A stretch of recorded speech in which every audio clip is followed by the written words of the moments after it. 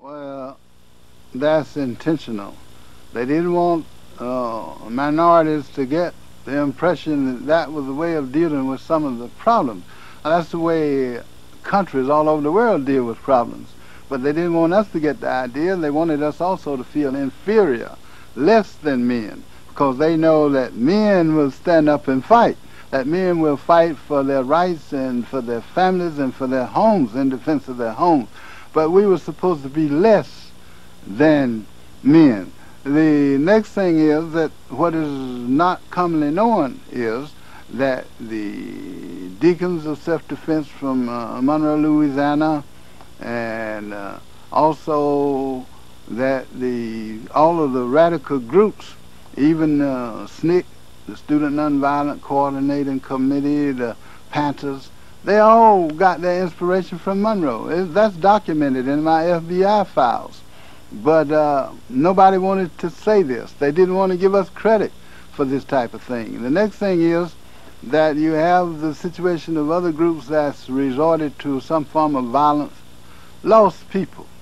It's like a situation in Chicago where they broke into the house with the Panthers sleeping and they just wiped out a number of them.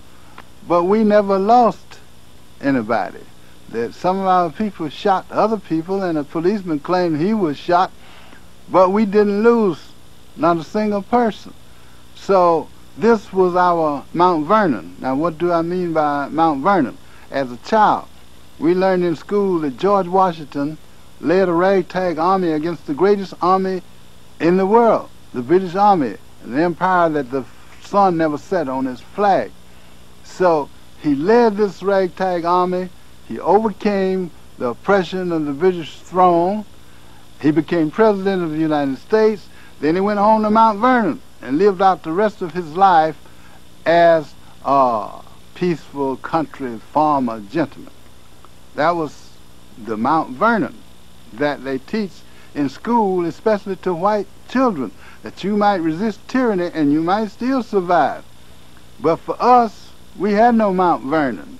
They wanted to show us if you resist white tyranny, white oppression, you will die like other people. Can you imagine an eight-year-old child traveling with his mother, and he says, "Mother, that street, oh, is uh, that school is uh, Malcolm X, or that's the Harry T. Moore, or that's the Martin Luther King High School."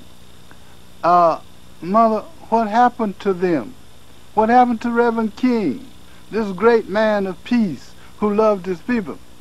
and she got to tell him, son, he was murdered. Was mother, why was he murdered?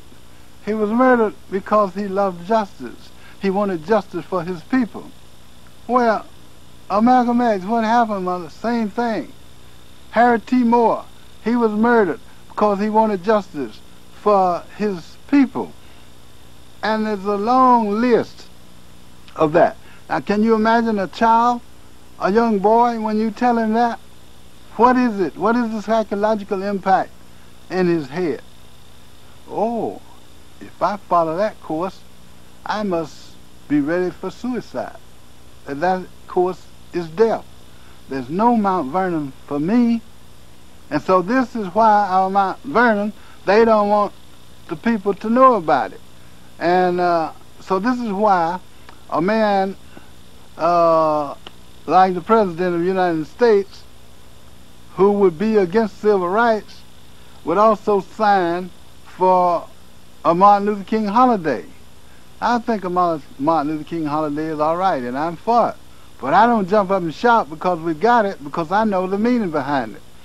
The meaning is that once a year, every black child in America is reminded that they shot this great man down like a dog on the streets of Memphis. Shot him down like a dog. What did they shoot him for? because he was seeking justice for his people. You see, when you, and just like Charles, uh, Medgar Evers, same thing. Now, that's not going to encourage a child, a young boy, to stand up. He doesn't want to be like somebody who was slaughtered like a dog. But if you can say, oh, Mount Vernon, you know, George Washington went to Mount Vernon, and lived out his day. Well, that's that's a chance. Just like when uh, they, if they should come in here to draft us now for the armed services, we go hoping that we'd be back. But if the man came and say, look, you go kiss, kiss your wife and your neighbors and everybody goodbye, all of it, go kiss your loved ones, because you won't be coming back. Do you think you'd be drafted into the armed services? No. No, you would never stand for that. In fact, we'd kill him before he got out of here. So that's not the type of thing that's really conducive to resistance on our part. But as a result, I was able to overcome that by analyzing these situations and observing what they were doing. And the Marine Corps, even though they put me out, I learned more from them than any place else. Because the way they operated, the way they dealt in fear, all kinds of things. So when I got control of the NAACP, the organizer, I appointed these veterans. I knew that veterans had been trained to do things if they had the leadership. But the only thing was missing was the leadership. So we got 200 people under arms, and these men fought the Klan. And they didn't show a bit of fear, not a bit. And sometimes I found out how deep this feeling is running with some young people. Sometimes at night, the guys would sit around and they would say, Brother Rob, do you think they're coming tonight? And I would say, no. And they would say, why aren't they coming? I said, because we're here. That's why they're not coming. Because we had dug foxholes, we had steel helmets, we introduced the first Molotov cocktails to the freedom movement. And they had all kind of military equipment, sandbags we had put up. And uh, I would say, well, the reason they're not coming... Did they ever come? Yeah, they did come once, but they didn't get in. Oh, well, there was a shootout and they left there running from the black community. The problem was that uh, 18 black women had been struck on the streets with objects from cars that white men were passing throughout these objects. So the black people, ministers had been up and they were begging the officials to stop these people from making these forays into our community. And uh, officials told the black ministers that they had as much right for the Klan to organize as for our communist NAACP. So we asked the preachers, please don't go back anymore. We'll take care of it. So they had struck 18 women, so finally we got our rifle club. I got a charter from the National Rifle Association. I had been in the Marine Corps and I found out that civilians could get charters. We got a charter. We dressed up the occupations that made them think that we were white people. Just like a cook became a, rest, a restaurateur, and a brick mason became a construction owner. And we just changed the occupations and they gave us a charter and we had the parent charter for that uh, county from uh, National Rifle Association. So that gave us the right also to get some of the arms that we used. So as a result, after we had uh, after we had arms and had uh, disciplined group, then uh, out in the county, a white man attempted to rape a black woman who was eight months pregnant. And uh, there was a, her neighbor who was a white woman had brought her to the police to help to try to get an indictment against the man who tried to rape her. And the chief of police refused to give a warrant, so we had to get involved with the NAACP. And uh, as a result, then some of the men in the community said, well, suppose we take care of this. They're not going to do anything. And I explained to them that they couldn't take care of it. They said, well, we could just go by his house and sprinkle him, maybe a few machine gun bullets. And said, no, you can't do that. So it was just scaring. No. Then they said, well, we could throw a stick of dynamite on his porch, couldn't we? No. So I said, he'll be taken care of in, in the law. So what they did, there was a young white woman lawyer from New York who volunteered to come and prosecute this man. She came all the way to North Carolina, and when they came up for trial, she never got a chance to say anything on the floor because uh, they had brought this white man's wife, and they set her down at his side in the court. And his attorney got up and said, Judge, Your Honor, this man is not guilty of any crime. He was just drinking and having a little fun. Now, you see this lovely creature? God's pure flower, God's greatest gift to man, this lovely flower, this lovely white woman, that these people are going to come in here and have you to believe that that man left God's greatest gift to him for this? Talking about the black woman. So that was all. The white woman lawyer volunteer didn't even get a chance to say a word in the court. Didn't even get a chance. The judge dismissed.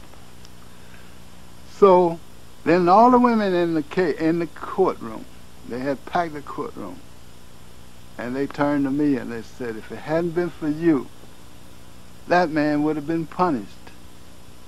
Now you open the floodgates on us. They feel that they can do anything they want to to us with impunity. Now what are you going to say?"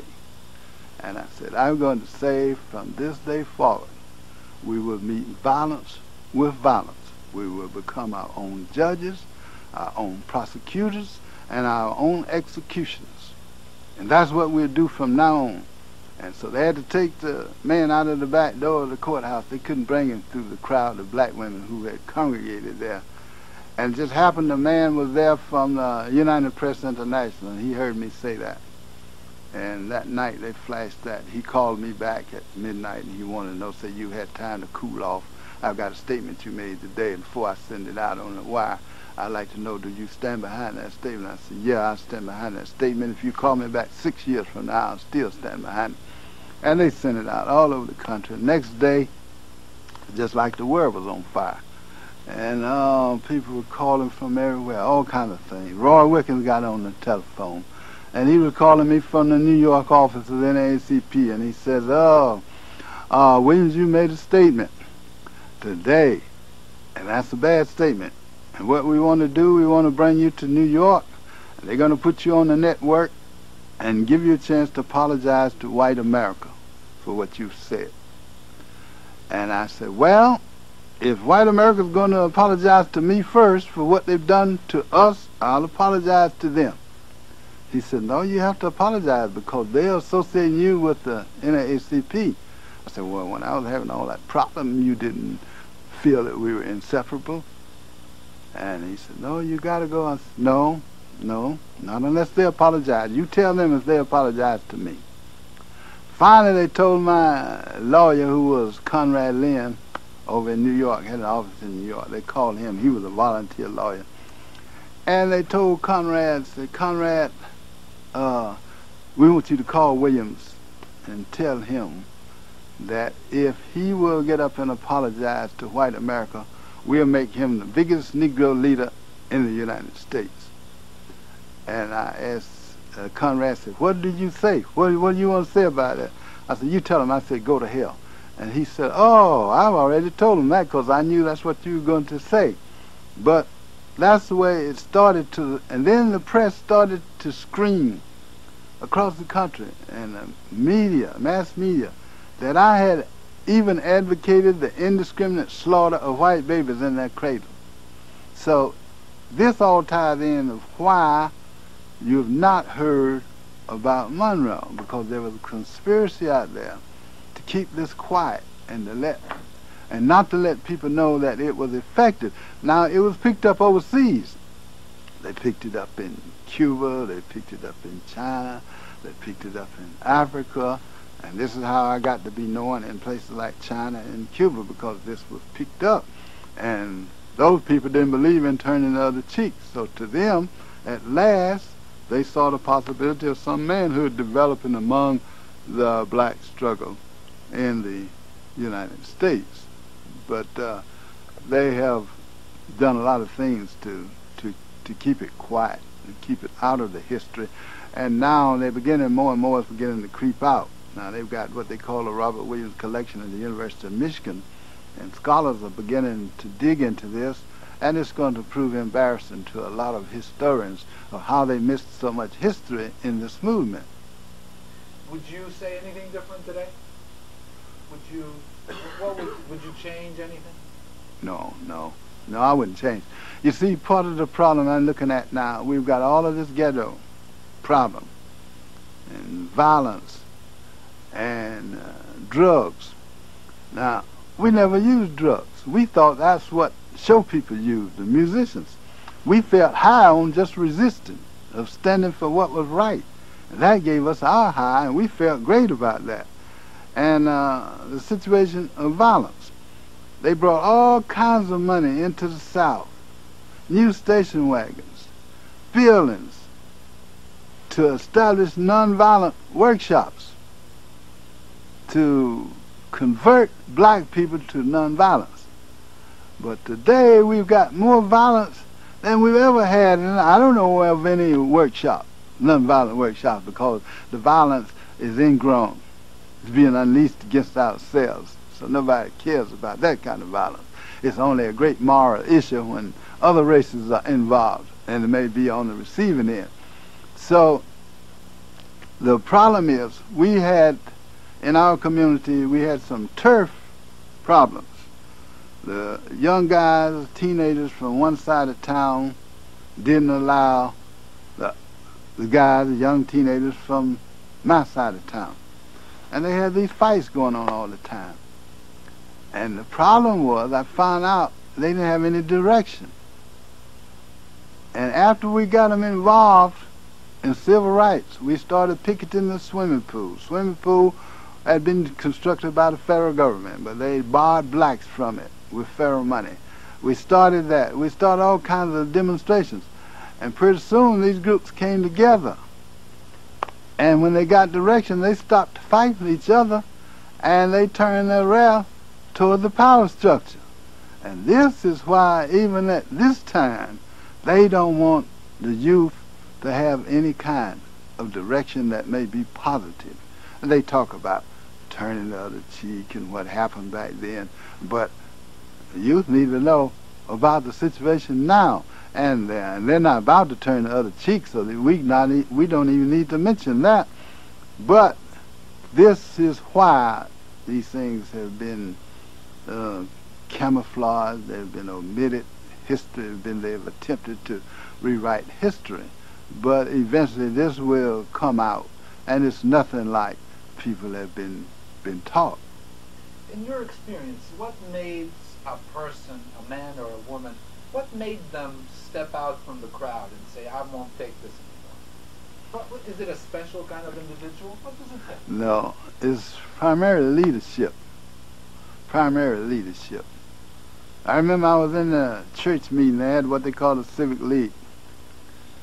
And there was a preacher there, we call him an Uncle Tom.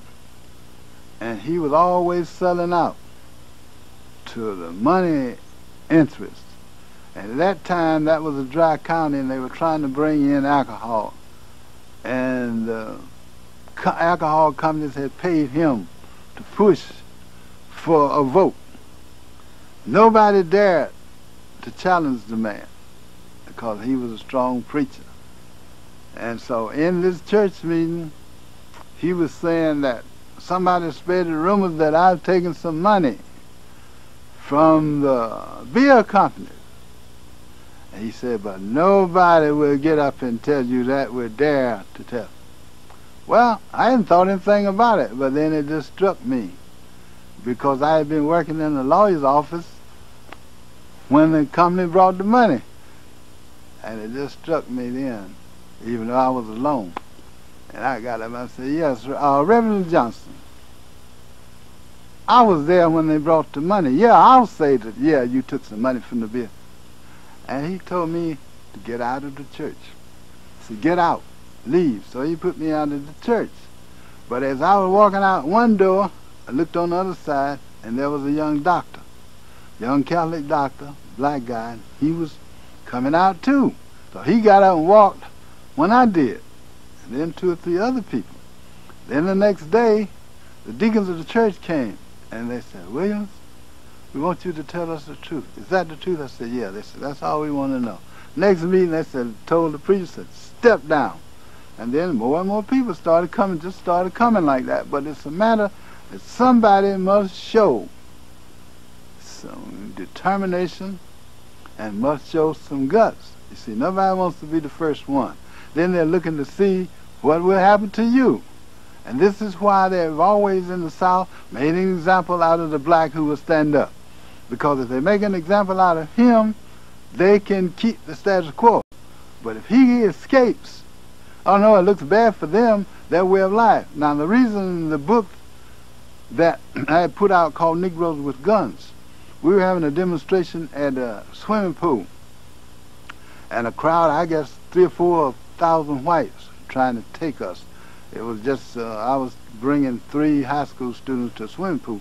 Others were already demonstrating. They wrecked my car on the highway in the intersection, and the police, two policemen standing there, and they looked out and wrecking the car. But they didn't know we were armed. So then the crowd started to close in. They said, kill the niggers, burn the niggers, pour gasoline on the niggers," And they were screaming and hollering, so I got out of the car, and I had an Italian carbine. And I also had carried a, a German Luger and an Army 45. And I told the guys in the back to take it, but not to shoot until they saw me shoot. Don't shoot unless I shoot. If I shoot, you kill as many as you can because they're going to get us. So they took the guns, but I told the guy to pass me my carbine as I got out of the car. And when he passed me the carbine, I didn't know he had put one in the chamber, so he put one in the chamber when he was passing it to me, so I'd be ready. And I went to put one in there, and this bullet about this long fell out on the ground, and the white people started looking at me, and they're looking at the bullet, and they're looking at the rifle. And they stopped. They had come up near the car. Then the policeman ran. He ran down, and he was about 50 feet away. Two policemen, one ran to the front and said, surrender your arms. And I said, this is a mob. We're not surrendering to a mob. If you want my rifle, you come by my house, I'll let you have it, but not here. And then the other one ran around to the side of the car and started to pull his gun out of the holster and shoot me in the back. And this young high school boy had this 45 and he put it in his face and his hand was trembling. He said, if you don't put that gun back in your holster, I'll blow your brains out. So the policeman had to put the gun back. He started backing away. He could see death because that boy would have shot him for sure. And he started backing away and he fell in the ditch. And when he fell in the ditch, there was an old man very old white man. I guess he was drinking and drunk. He started crying. I mean, he was just crying like a baby. And he said, oh, oh, oh, what is this goddamn country coming to? The niggas got guns and the police can't even arrest them. Now, it took me a long time to understand his feeling. Now I realize why he was crying. Because the gun had been the thing that had always kept them on top and the police power. And he could see that slipping away. And his way of life was going. And this is why he was crying. And this is why I named the book Negroes with Guns. Because it meant when they got guns the same as everybody else, they'd be treated the same way. And it would be to the advantage of the general public to maintain peaceful relations. So now that doesn't mean guns for the sake of guns. It doesn't mean violence, but it means a controlled situation, well disciplined and well led. But what we've got now is anarchy. A lot of people with guns shooting everybody and all kinds of things and robbing and doing everything else. But that won't pay off. There's no dividend in that. We'll stop right here. Would you like some water? Williams, what would you say to uh, uh, a youngster who uh, was uh, who were to tell you at this point that you know, well, hell, I don't want to get involved. I really don't. You know, I, I want to get my own. I want to be done with it. I want to get my house. I want to get my car, and I want to live my own life. I really don't. You know, the community doesn't care about me. Why should I care about the community? Uh, all I'm going to get is grief. I mean, look at Williams. He got he, he did all this stuff and he got nothing for it. What would you say to him? Oh, I got a great deal for it. I've had a good time, and I've enjoyed life. One uh, main thing is they asked me, "How could you travel around the world? You didn't have a passport." I said I had an FBI wanted poster, and that gave me entrance to a lot of places that other people couldn't go. So as a result of that, yeah, I really in, enjoy life. I live now in the middle of the Manistee National Forest. I go places freely, and every two, every two or three years, my wife and I are invited to China. We're treated as heads of state. So I don't know how much better I could do. And uh, they kept, they used economic pressure, all kinds of things. But uh, I got to be well known. I've been given all kinds of opportunities, just like they didn't tell the people in the black community, but they invited me to Washington and asked me to help them to normalize relations with China. And uh, they gave me a Ford Foundation grant to the University of Michigan so that they would know about China and I could help them improve relations. So you don't really lose. I would say be honest, be honest with themselves, the others, to be sincere, to vote themselves to truth and to justice, and most of all, to have some discipline. They got to have discipline in life and never be afraid. But I would also ask them a question. Would, what, how could a fish say that he doesn't want to get involved in the water in the pond because the fish is a part of the pond. He's there. If the water's gone, he's gone. And as little as they know it, if this society is gone, they're gone. And this is one thing, too, that I don't understand about white people in this country, especially rich white people. I don't know why they can't have enough understanding to know if we are destroyed, so will the nation be destroyed. So will they be destroyed. That they can't enjoy what they've got if we're being destroyed. And they don't, I don't know why they can't see that their destiny is tied to ours. Now, it looks like they are some distance, that they've got some insulation. But I can assure them, they don't have any insulation. I've been in countries where I've seen uh, authority break down. They don't know what that looks like. That's a horrible face. And we are not far from that now in this country. We're not far. We're looking at other countries, and attention is being diverted way to other countries, but we're not far away.